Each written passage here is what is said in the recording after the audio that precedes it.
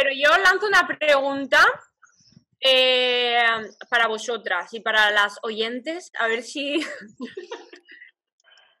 a vosotras alguna vez alguna pareja sexual os ha dicho, uy, es que, o sea, ha hecho mención de que vuestra vulva es fea o es más bonita o es más así o es más allá.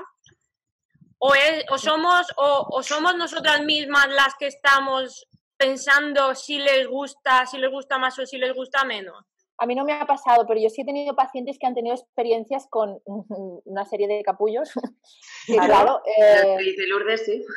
sí, sí. Sí, sí, hay mucho capullo pera por ahí. ¿eh? Sí, Mm, No sí, sé. yo creo que son, de todas maneras, el- la persona que es capaz de hacer esa, esa eh, juzgar de esa manera una vulva ya no es solo eso, ¿no? O sea, ya se Mm. canta por otros lados. ya es como... Pero sí, sí me como nosotras- gente. Y como nosotras, ellas también tienen que poner esos límites. Te quiero decir que ante ese comentario que harán entre todos ahí de, de pues, de- pues sí, de- o lo que quieras, o a ti te gusta, ¿no? Pero a ti te puede gustar más depilado o menos depilado, pero no es una decisión tuya. Puedes eh, comentarlo, hablarlo, pero no nunca desde juzgarlo, ¿no? Y, o sea, que también nosotros tenemos que poner esos límites, ¿no? De decir, bueno, pues muy bien, pues me encanta que te guste así, pues que a mí me gusta esa. Yo creo que una, o sea, a todo el mundo, sea hombre o mujer, eh, una mala valoración por parte de otra persona de tus genitales afecta muchísimo a la sexual, a cómo vives tu sexualidad. O sea, alguien que de repente a alguien se le vaya a ocurrir decir, uy, es que la tiene muy pequeña. O sea, eso ya marca el cómo se enfrenta ese hombre a la sexualidad.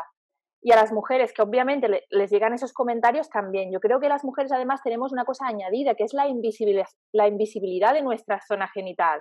O sea, que eh, como decía antes, Tony, es que no hay referentes de normalidad, em, lo que vemos evidentemente no se parecen a vulvas normales, entonces es que hay un problema sobreañadido a todo eso y que eso, o sea, un hombre que eh, por lo que sea ten- tenga un complejo sobre su pene, yo creo que sí es capaz de disfrutar de su pene solo.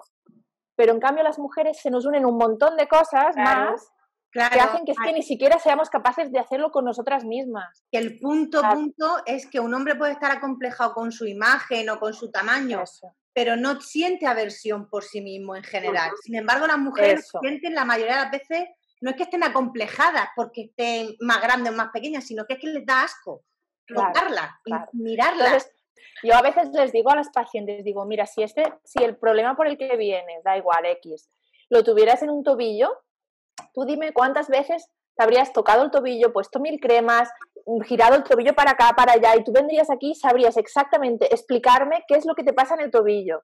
¿No? Me dirías cuando apoyo, pero ta, pero cuando hago este movimiento, ¿sí? Pero como es en la vagina o como es en la vulva, mm, no sabes nada.